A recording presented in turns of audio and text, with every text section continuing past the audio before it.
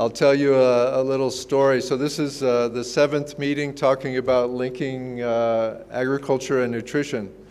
I got a, I got a grant in 1993 from USAID to see what our system that I work for, the CGIAR research centers, could do to help fight micronutrient malnutrition. And I went around, I, I visited nine centers in 1993 to talk to the plant scientists about the possibility of breeding more minerals and vitamins in plants.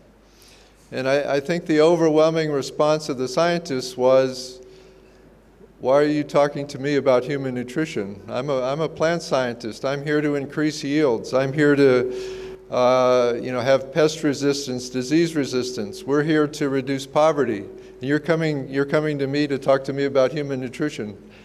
It doesn't make sense. Um, by the same token, when I would talk to the nutrition community, to nutrition donors about uh, you know funding this idea, and they said, "You want us to give money to agricultural research institutes?" And I said, "Yes." They, we don't do that. Um, so it, the world has changed. The world has changed a lot since uh, since the 1990s, and so it's it's great to have this, you know, this huge group here talking about linking agriculture and nutrition. And I, and I you know, I think it's, I think it's so important. So I'm, uh, I'm an economist by training, and I'm going to give you a, a heavy dose of, uh, of a, an economist's perspective on agricultural strategies for improving nutrition. And I'm going to, I'm going to start by by showing you my, my slide on the Green Revolution. So that red dashed line across the middle is a 100% increase between 19, what is it, 1965 and 1999. And you see the blue bar is population. Population doubled during that period. And policymakers knew that population increase was coming, and they were worried there'd be widespread famine because there wouldn't be enough cereals, there wouldn't be enough uh, calories uh, to feed all those people. So we had the, we created the CGIAR system, we had the Green Revolution, we developed high-yielding varieties of rice and wheat and maize, and the great success are represented by the orange bars, which more than doubled during that period. So we avoided widespread famine. But I want to draw your attention to the green bars, and that's what happened to pulse production. And I only put pulses there to keep it simple. I could, if I put vegetables, if I put fruits, if I put animal and fish products, the bars would be about the same height. So you had a 25% increase, but you didn't have the same productivity increases that you had for the cereals. So the supply of the, of the non-staple foods, those that are rich in minerals and vitamins, lagged behind population growth, lagged behind demand.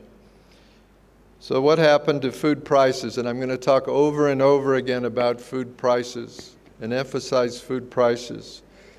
So, I like to divide the diet into the food staples the brown, the non staple plant foods, the green, and the red are, are, the animal and the fish products. So, if you look at what happened to prices in Bangladesh until the, from the beginning of the Green Revolution to the end of the 1990s, rice prices fell by 40%, which is great because Bangladeshis spend a high percentage of their income on rice. But the prices of the vegetables and the fruits and, and everything else, the non-staple foods, doubled during that period. So if you wanted to purchase better dietary quality, it became harder and harder for the poor if their incomes hadn't gone up.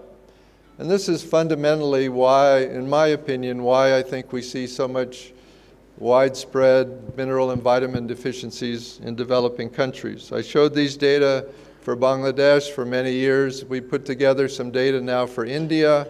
Same pattern. You see here the rice prices fell by 40%, stayed low for decades, have started coming back up again a little bit. But the kicker is here. The kicker is that you see that the, the prices of the vegetables and the fruits and the animal products and the pulses. Everything has just gone up and up and up over 40 or 50 year period. And policymakers pay attention if the rice prices double and triple, but they don't pay attention when the prices of the non-staple foods go up. But we have all this micronutrient deficiency because of this. When I talk about agricultural strategies, I like to start with demand. The solutions are on the supply side, but you have to understand demand to understand what to do on the supply side. So this is, these, are, these are typical dietary patterns. This, the, the graph on the left is rural Bangladesh. The graph on the right is for the Philippines as a whole nation. So look at the brown row. Those are the food staples. These are the energy intakes, calorie intakes. And the different columns are from low income to higher income. So the thing to notice about food staples is that first of all, of course, a lot of your calories come from food staples. But what I want to what I want to point out is that it doesn't change with income. Low income and high income people eat the same amount of food staples. So what do people do? The first thing they do is they buy enough food staples to keep from going hungry. Then they have some income left over. Some people have more than others, income left over. So the next thing they do is they buy the non-staple plant foods to get some variety in their diets. And then as income goes up, they increase, they're able to increase, their budget constraint is released. And then what they really want, though, are the animal and the fish products, but they're the most expensive parts of the diet. In Bangladesh, this particular survey, they're 20, 20 times as expensive as a source of calories. And you can see there's a doubling. In Bangladesh, there's a doubling from low income to high income. In the Philippines, there's a tripling from low income to high income. But the amounts are low because they're expensive. So none of these diets, even in the higher income groups, support adequate dietary quality. So this is, you know, this is the pattern. Um, this is demand, and this is what's happening with demand. So we have to understand demand. So this shows for that rural Bangladesh population, this shows where the calories are coming from. Only that little sliver, 3% of the calories are coming from the animal and the fish products. But the Bangladeshis are spending 25% of their food budget on animal and fish products. That's how much they like them. And that's 20% of their income because they're spending 70% of their income on food. Okay, so diet, people want dietary quality. People demand dietary quality, but they're severely constrained by, the high, by their low incomes and the rising prices of the non-staple foods.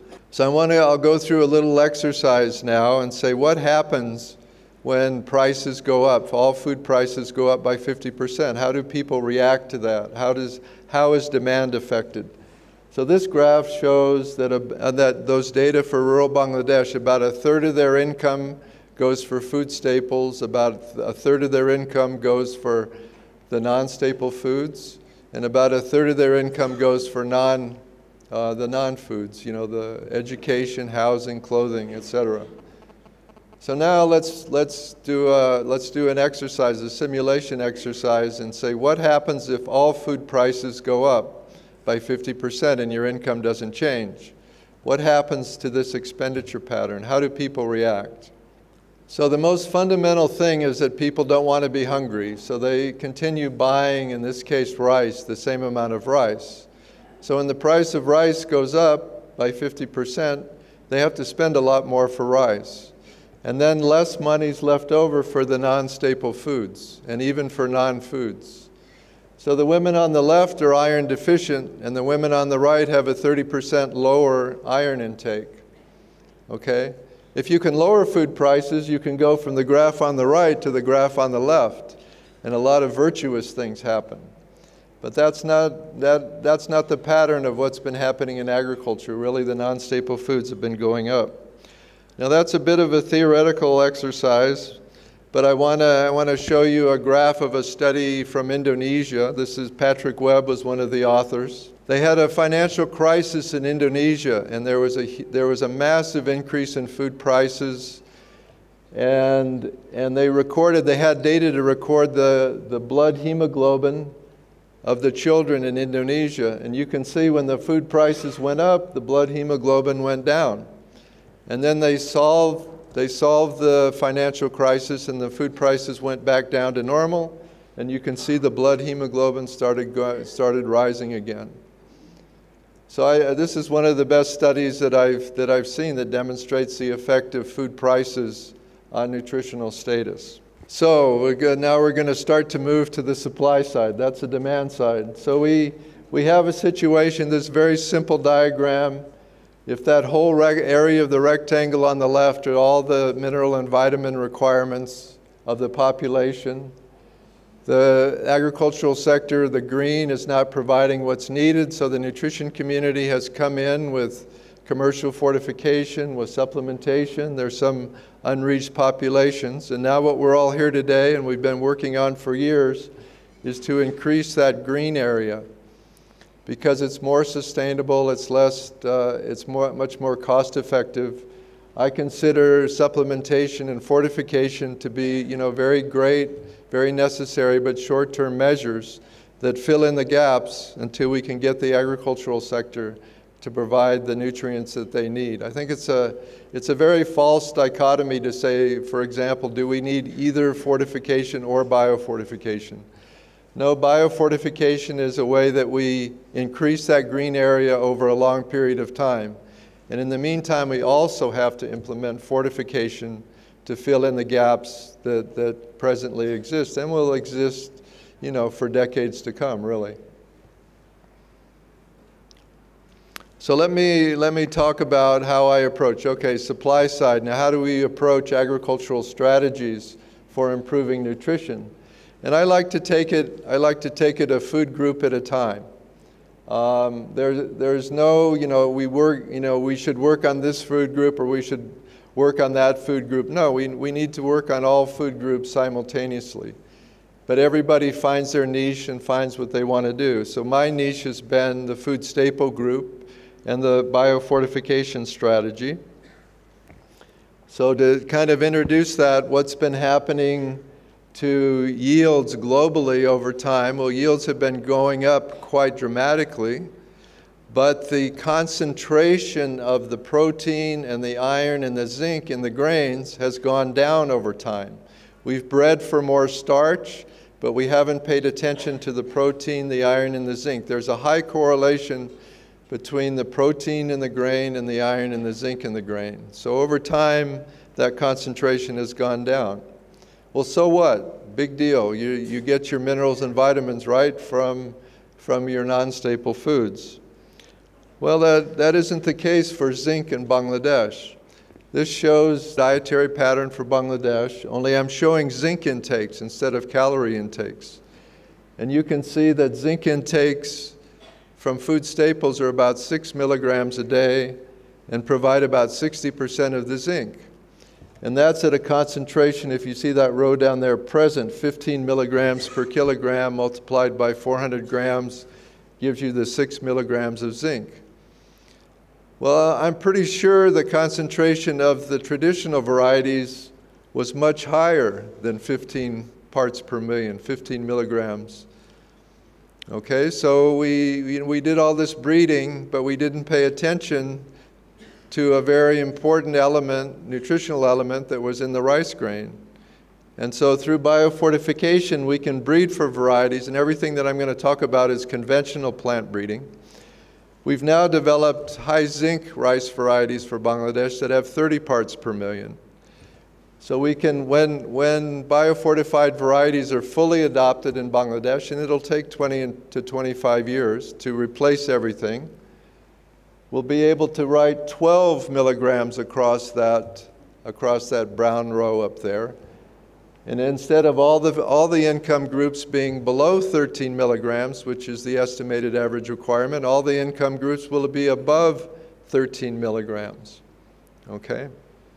So that's, that's what biofortification is all about, is, is working on increasing the minerals and vitamins in the food staples that people already eat in large amounts.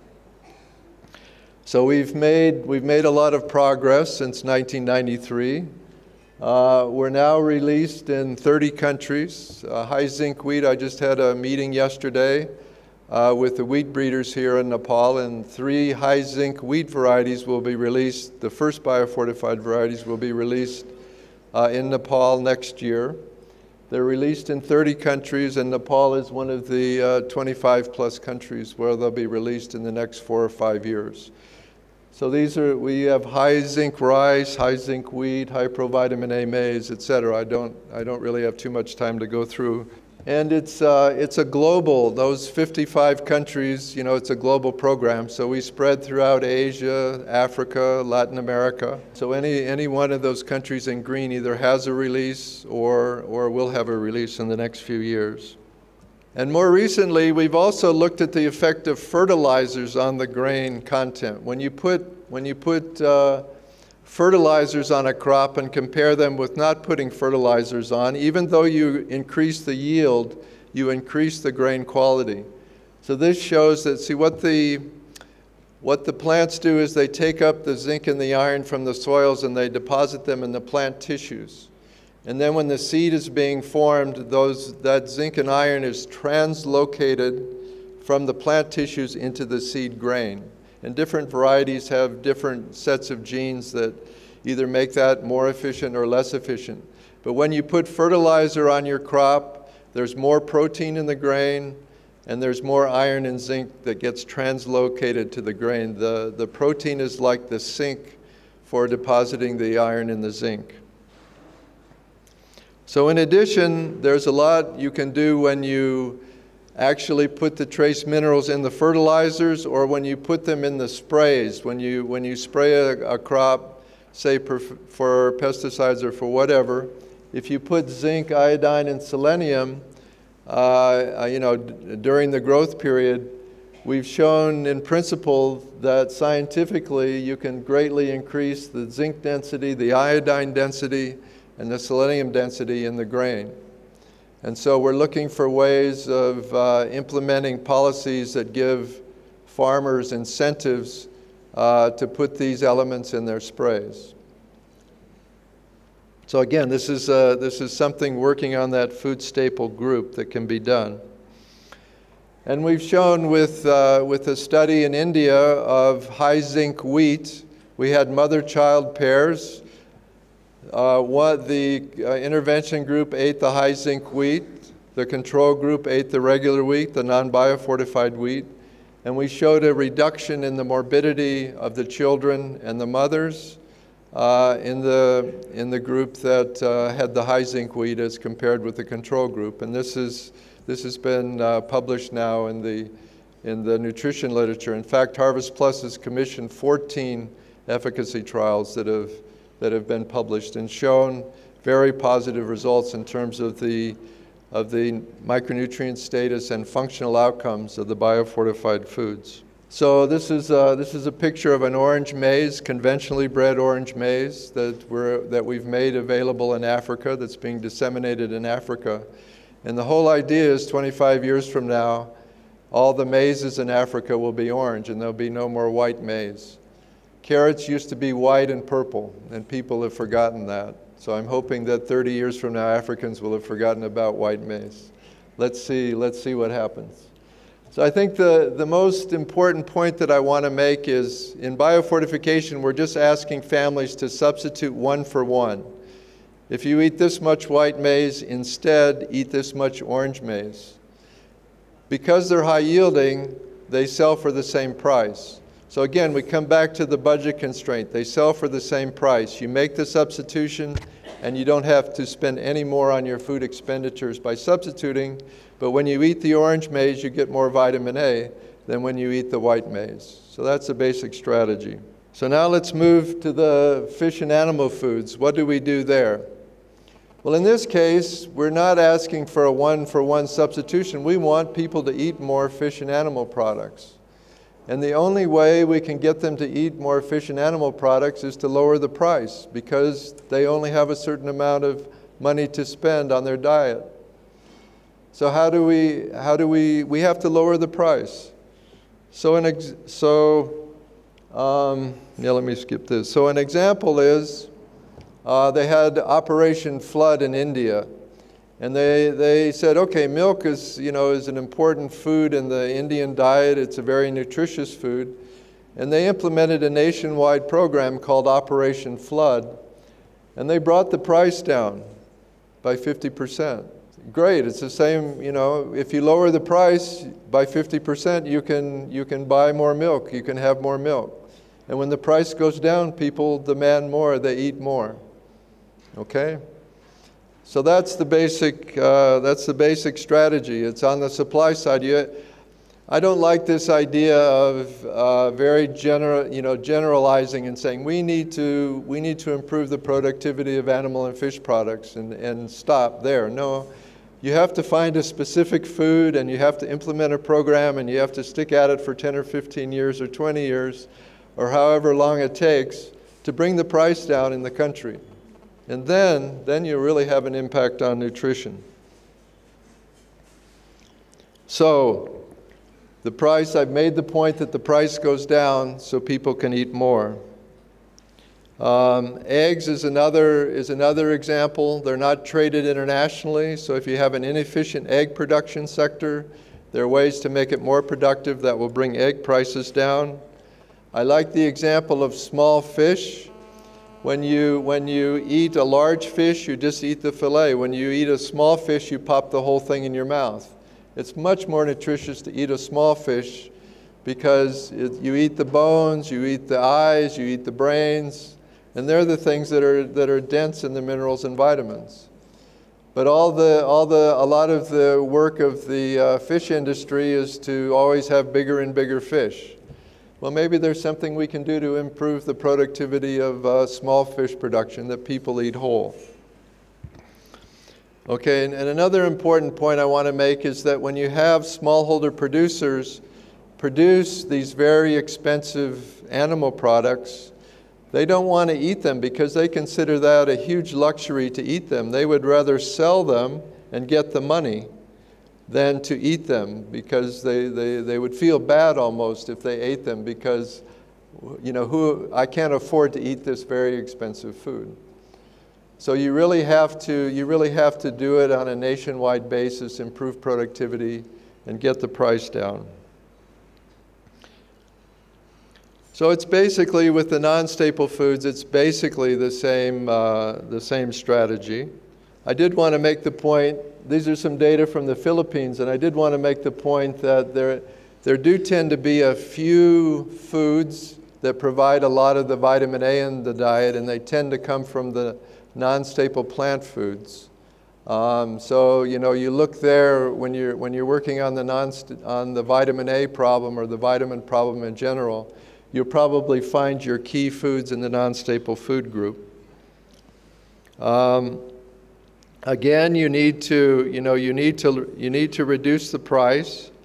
Um, Nutrition education, there may be a lot that you can do to say, don't eat these vegetables, they're not as nutritious as these vegetables, so you get them to substitute and eat the more nutritious vegetables, the more nutritious fruits. But once you start really, um, you know, increasing the demand for particular foods that are more nutritious, you're going to start driving the price up because people, everybody's going to want to switch. And once you start driving the price up, people will eat less. So you really need productivity. Again, you still need productivity increases uh, for those particular vegetables and fruits. So this is, uh, this is kind of my, my summary slide um, on strategies. So I always like matrices. So you see the, the row are staple foods, and the second row are non-staple foods. And the columns are what I want to draw your attention to. There's indirect behavior change and there's direct behavior change. I, I regard uh, increasing incomes and changing food prices as indirect behavior change. If you lower the price, people buy more. If you raise the price, people buy less. You don't have to go out and, and tell them what they should do. They react to those prices. I'm an economist. I like, I like uh, inexpensive solutions, easy solutions. So I go, for the, I go for the price options. The biofortification of iron and zinc, you can't see iron, you can't see zinc in the crops. I just want to, over time, replace all the staple food crops with the iron and the zinc biofortified varieties. After 20 years, when everybody goes to the market, the only thing they can buy in the market will be the biofortified foods. You don't have to say, buy this one and don't buy that one. I really, I really like indirect behavior change. I can't do that with the provitamin A varieties because you see the color change. You have to tell people why they should eat orange maize and not eat white maize. And once you tell them why it's orange, and once they taste it and they like the taste, they get it and they switch. It's just a matter of how do you get that information, get that information to people. So of course, nutrition education, uh, homestead gardening, those involve a lot of, they involve a lot of behavior change. So you have to be, you just have to stay aware that those are uh, you know, those are more expensive, they're more difficult to, to uh, affect behavior change. So that's my, that's my own personal perspective. Thank you very much.